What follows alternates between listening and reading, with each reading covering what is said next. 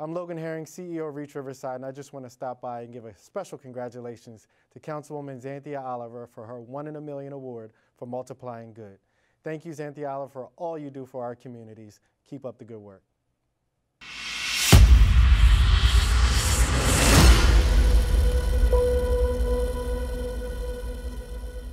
Good afternoon and happy Memorial Day. My name is Logan Herring and I'm the CEO of the work group. That's the Warehouse, Reach Riverside, and Kingswood Community Center. Every week during our virtual lunch and learn, we talk to special guests from around the city, county, and state that are telling us about all of the efforts that are happening during this pandemic to support our community. Today we have special guest Congresswoman Lisa Blunt Rochester, City Council President Hanifa Shabazz, and City Councilwoman Zanthia Oliver. After we talk to our guests, we'll be talking about our efforts in Riverside around our relief fund and everything we're doing to support our community during this troubling time. First up, we have Congresswoman Lisa Blunt Rochester. Thank you so much, Logan. Thank you for having me. Glad to be here. Yeah, we, we appreciate you being here with us. Now, now, we know Delaware is a family oriented state, everybody knows each other. So, before we get right into talking about business. How is the family? How's your father, your sister? How's how's everyone doing? Everybody's doing well, you know, considering. And, you know, first of all, I guess I want to say to everyone out there that um, has a family member or or are personally um, dealing with COVID 19, that our thoughts and our prayers are with you and that we're sending you love and, um, you know, real prayers for healing.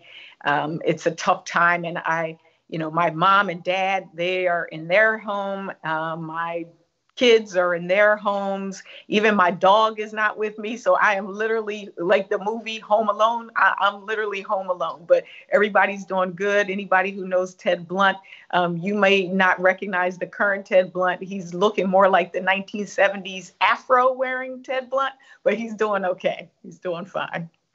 That's good to hear. I actually saw him a couple weeks ago, and his hair was starting to grow. I saw him down at the riverfront. LJ and I went for a walk, and he walked by and gave us the little, you know, the fist because he didn't want to get too close. He had his mask on, but I could tell it was him at that point. So I don't know if I could anymore. Well, I'm glad you told me that because otherwise you'd be telling on them because we keep telling them, you know, stay safe, and that and that's what I would say to everybody out there. Like wear those masks make sure you are socially uh, you know distancing yourself and and taking care of yourself because it's a, it's a really important um, message for everybody washing your hands all of that um, it's really important no matter how old or how how young you are so thanks for thanks for looking out for my dad logan absolutely absolutely so words of wisdom from you and so what are you seeing from you know delaware to dc um, what's taking place right now, and, and what are you doing to to help us locally, but also from a, a national perspective? Right. Well, you know, first of all, this is one of these situations which none of us have ever experienced in, in our lives. I mean, you know, this in terms of the unemployment rate, we've never seen unemployment like this. Um, in terms of the toll that it's taking on us physically and mentally, um, we haven't seen anything like this. And you know, I want to first acknowledge and highlight the work that that you are doing. Um, you know, the the Riverside Relief Fund, um, just all of the things that you are doing to help support the community. Even if we did things on the federal level, which you know, folks know, you got the kind of like that federal level, of, you know, where we're making some decisions about um, funding and laws. Um, it really doesn't matter if it's not executed on the local level. And it's a two way street because we hear from you and we take those things and turn it into legislation. So, for example, one of the things that we were seeing, um, the first order of business was to try to get out money uh, for preparedness and testing and to look at a vaccine. That was like one of the first things we did. But then the second big package of dollars was the CARES Act. Uh, no, the Family um, Family First Act, which we were wanted to focus on making sure that people had ability to take off if their family member got sick, um, that people had expanded unemployment insurance, um, food uh, food stamps, SNAP, that SNAP and programs like that were more available to people in the immediate, and that there were these stimulus checks that money was put into the hands of individuals, and also that we focused on those small businesses. But what we saw was that small, particularly minority businesses, were not having the same access to those loans and grants. And so we had a real focus in the package, the interim package, to make sure there was a carve out of money that was really targeted to those that need the money the most. And so um, as we hear things here locally in Delaware, we take them back to DC and try to adapt and also try to make sure that we have the resources here. But really, the action is, is here on the ground and the work that you are doing and that uh, Reach Riverside is doing. Well, thank you so much for your support in, uh, in our efforts, uh, both from a professional standpoint and a personal standpoint. We might touch on that a little bit later. So I understand there's another bill uh, on the table right now, and what would that go to? I'm glad you brought that up. It is actually called the HEROES Act, and it originated in the House of Representatives. We just voted on it uh, on that th- Thursday or Friday of, of, of last week. Um, it is a three trillion dollar bill um, that focuses on those folks that are on the front lines every day. You know, making sure that whether it's our teachers, our first responders, um, police officers, sanitation workers, um, we wanted to make sure that we had money coming from the federal government going right to state and local governments. Because the reality is, if Delaware or New Castle County or the city, if they run out of money, then three things are going to happen. Either they're going to have to lay people off, they're going to have to cut services or raise taxes, or potentially all three. And so in our bill, the first thing we wanted to do was get money back to the states and to the local governments so that we can continue to have the services that we need and to support those heroes that are on the front line. There was also money in that bill for testing. Uh, one of the most important things, whether we're talking about for a health perspective or even opening up our economy, is I can't feel confident if I am not sure what am I walking into. And so we put in significant dollars for testing, but also contact tracing, meaning the ability to find out, well, who else did I come in contact with to make sure that they're also aware of whether or not they test positive or not, and that they get the support and, and resources they need. And then treatment. I actually had a bill that was included in the HEROES Act that would allow for people to get treatment for COVID 19 regardless of, of whether you had money to pay for it or not. You should not have money be a barrier to you getting treatment when you need it. And so this bill is really a major bill. It deals with also unemployment insurance, also those smaller small businesses that and nonprofits. You know, nonprofits are the ones that are on the front lines again. And so whether it's from the federal level and being able to access loans or from a state level, if that money is not there, then nonprofits can go out of business too. So this bill really focused on the heroes that are really keeping us going and to provide that testing, that treatment, that contact tracing, and supports to allow people to get back to work or to get back to school. Um, it's a massive bill, 1,800 pages, so there's a lot, lot in it. Um, but you know, if anybody's interested in hearing more about it, please reach out to our office as well. Thank you, thank you. So we're, we're running out of time, unfortunately, but I, I know you have, sounds like you have a ton of work to, to do, as always, but even more during this pressing time. So wanted to shift gears really quickly, and the last thing I wanted you to speak about is your support of the warehouse, because you have a professional dance studio named after you in the warehouse, and I know that um, that, that is a, a near and dear to your heart, dance, and in your history with dance. So you just take opportunity to speak about that, uh, that dance studio and what it means to you, even though you haven't been able to even come see it yet. Oh, I know. Well, first of all, I just want to say how honored I am. Um, you know, I, I and I want to just speak specifically to the teenagers. Um, I am so glad that Reach Riverside, the comprehensive nature of what you're doing is so important. But that focus on teens, I, I will never forget what it was like to be a teen. I still have my, my journal. It starts my first day of high school and um, what I was thinking and feeling. And right now, I know that my what I experienced is nothing compared to some of the, the challenges and opportunities that teenagers have today. And and and, and I'm gonna tell you, um, the Teen Warehouse gets me excited because as a teenager, I always wanted to be respected. I always wanted to, um, I wanted people to hear me and see me and, and, and understand that I have something to give. And at the Teen Warehouse, I feel like you've created this space where people can create and where they can become activists and where they can become their full self. So I thank you so much for that that leadership. I am excited to get over there and also to to, to hear from the teens themselves um, in ways that we can help make not just Wilmington or Delaware a better place, but the world. Thank you, Congresswoman, for your time, your commitment uh, to serve not only our city of Wilmington, this state, and the entire country. Do not let me forget. Absolutely. Census.gov people have got to fill out this census. If you want, if you had complaints about your schools, we need the money. Fill out that census. If the, if the streets have potholes and, and we don't have good roads and bridges, fill out the census. You want a hospital to go to that really can take care of you, fill out that census. It'll only take you a couple of minutes and it'll bring dollars to Delaware. People, make sure you go fill out that census. If you need help, reach out to us, reach out to the Congresswoman's office. We'd be happy to assist you. Thank you again so much for your time. I know you got a lot of work to get back to, but appreciate you taking a little bit out of your time today to talk with us.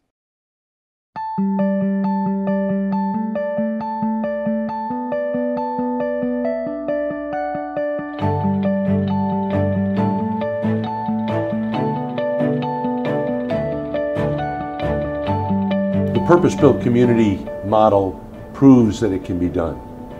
Every community in this country who chases that kind of a result has to understand that their circumstances and facts are different. But the basic values of Tom Cousins, the drive, the hope that he instills in people around him, the belief that change can occur for the better for everyone, all of those are core ingredients in each one of our journeys.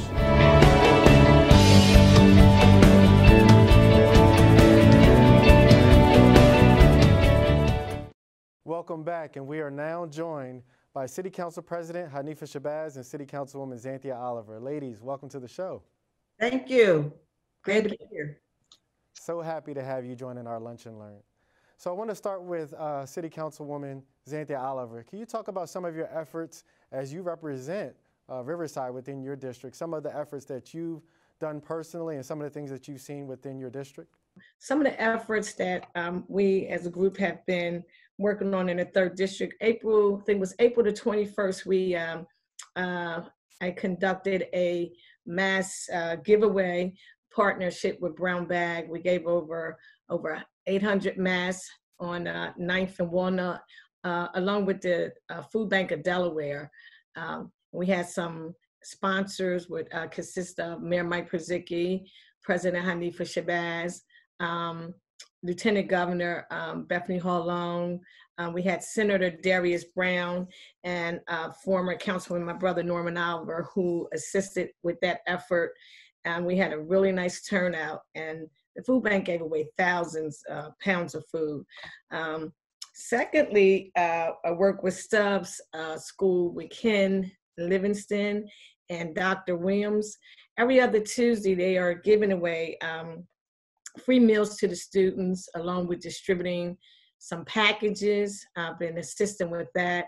And on Fridays, uh, they've been working with Walt's, which uh, giving uh, away hot foods every Friday. They would like the kids to come up with the parents um, to give away some hot foods.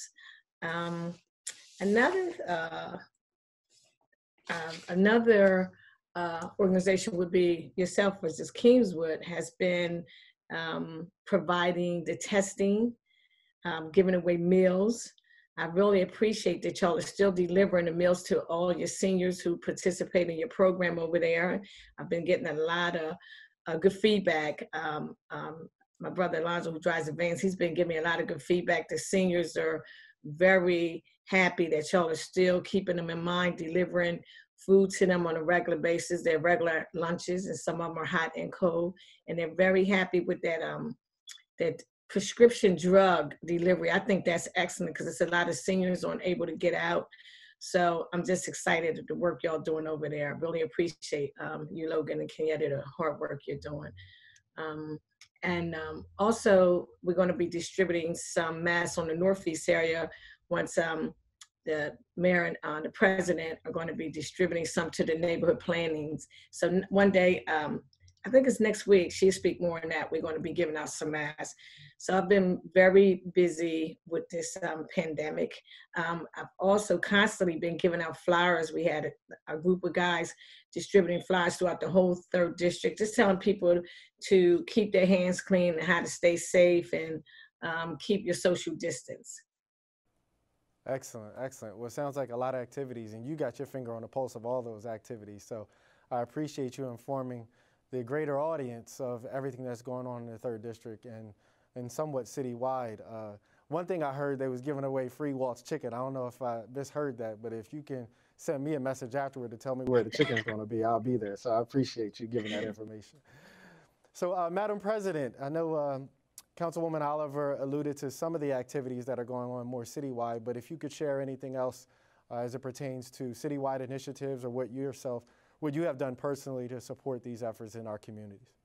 Well, sure, and thank you so much, Logan, for allowing me the opportunity to share, um, you know, some of the efforts that myself, uh, as well as the um, working with the Wilmington Community Advisory Council, the state asked us to use our network of over 35 community-based organizations to assist in getting education and information on where there are resources, assessment sites um, are, are, happening around the city. So we have formed a community mobilization team so that we got uh, definitely, like you said, a pulse on the community and what the community's needs are, and so that we can relay that information back to local government as well as to uh, other levels of government, the county as well as the state. So, um, so far you've seen several um, different organizations in a, a, continuous influx of assessment sites coming up for individuals to get testing. Um, that's you know from uh, the effort that we have um, formed together to um, advise where we felt they were the best places for them to be, and also um, we've partnered with the uh, municipal government to ensure that with the with the uh, with the directive to having to wear mask all the time, we felt was essential that we identify our least vulnerable communities. And the city is purchasing, has, has purchased 20,000 masks washable, reusable masks, um, and that will we plan to distribute. You working along with um, community-based organizations and entities such as Council Member Oliver was speaking to a neighborhood planning council, civic associations, um, to help us in the distribution those to our most vulnerable communities. Um, so we've been we've also initiated the beautification teams that's doing the community cleanup. They we have um, extended their workday so that they are doing door-to-door flyer distribution um, into the community, let them know when there's assessment site or a, a food giveaway or any type of COVID, uh, you know, COVID initiative. So we've been quite busy um, in in, uh, um, in in provide trying trying to provide the resources and, and, communication to where you know resource giving is. And our next our next level of it is is preparing the community and and by listening with these town hall meetings that we have been hosting, we need to hear from the community because we need to see how has COVID-19 impacted them so that we can advocate on our on our citizens' behalf about this impact because um, I, it, we know it has economically, education, um, and and other ways. So that we could make sure that we can uh, advocate for those resources that came down from the federal government to our state and county government uh, for the COVID relief. So, and our efforts are forming somewhat of like a relief fund type of initiative so that although money didn't come directly to the city, per se, but the money we can be reimbursed for the impact the COVID has had on our community. So the goal is to try to do the community-wide mask giveaway on November 23rd. Um, and and those those different locations are being shored up as we continue to partner with our community-based organizations and other advocates out there in the community, such as Councilwoman um, uh, Councilwoman um, Oliver and other members of City Council. So um, that's what I've been doing. well, busy is an understatement. Um, we have to get ready to go, and, uh, and, obviously we need to let you get back to work because it sounds like you are extremely busy. Uh, if people wanted to find out more information about resources, how to join the town hall, um, where should they visit? Which which website, Madam President? Wilmington WilmingtonCityCouncil.com. All right, thank you. You're welcome. And uh, Councilwoman Oliver, uh, a final closing message. If have, we have about 15 seconds, if there's anything you want to send out to the community, particularly the Riverside community? I was just like, I, I was remiss to uh, mention um, we did a mass giveaway to Old Brandywine Village, and a lot of them residents over there showed up, and there are a lot of seniors. But I'd like to um, give a special thank out to the Riverside residents and tell everyone to be safe um, and to come out to the meetings, even if it's remotely, and just stay involved because I think y'all have had quite a few meetings over there along with myself and the president, and it's been a nice turnout. But I would like them to take advantage of some of the resources that y'all are giving them, such as the Department of Labor, such as the on-the-job training.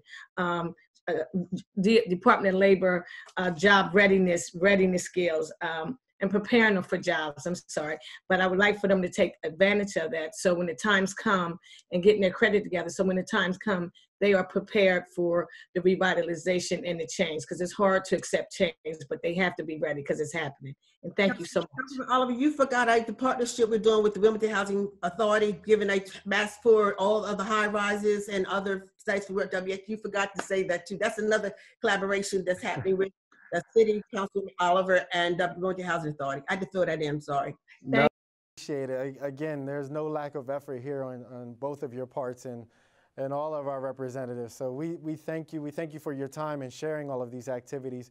We do have to run. So ladies, thank you. Uh, keep up the good work. Keep up the good fight. And we'll talk to you soon. Good. Thank you. Thank you. This partnership with Prosperity Now has been everything for my personal growth as a leader. Uh, I often come into these opportunities, professional development, trainings, with a little bit of skepticism because when you're leading an organization, first, you don't want to take time away from the organization to actually um, work on yourself because sometimes you think you know a lot already, but you also don't think it's fair to the organization to remove yourself from the day to day activities. And the first four day training we had in DC, I was just amazed. I was calling back the people in my office, like, we got to do this, we got to do that. And I think I just learned so much, but I also got a thirst for learning after being with Prosperity Now and its group because I understand there's so much I don't know and there's so much that I can continue to learn. So I, I think now I'm a, a, lifelong learner as a leader. And I think in doing that, it, it refreshes me, it re energizes me, and then I bring back those skill sets, those learnings to my organization so we can have the best impact possible. And thank you all for tuning in to our Lunch and Learn. Uh, we would love for you to continue to contribute, um, not just by watching, but participating. And we'd love for you to join us on our platforms, our social media platforms, the Reach Riverside, the Teen Warehouse, Kingswood Community Center. Tune into our partner and collaborator that's bringing to you these virtual lunch and learns, DETV. Uh, make sure to support our Riverside Relief Fund that is bringing uh, cash disbursements into our community, bringing technology into our community, making sure that everyone has healthy and nutritious food um, during this pandemic. Uh, we just appreciate your continued support. So visit us at reachriverside.org, visit all of our social media, and make sure to tune in next week at our next Lunch and Learn, Monday at noon.